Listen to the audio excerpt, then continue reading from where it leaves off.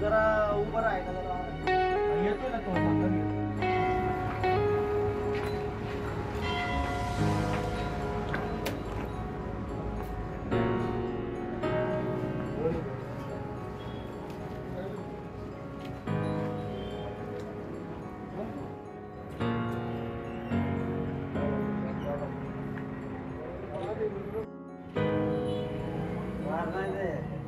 कशी लगेच आता तासभर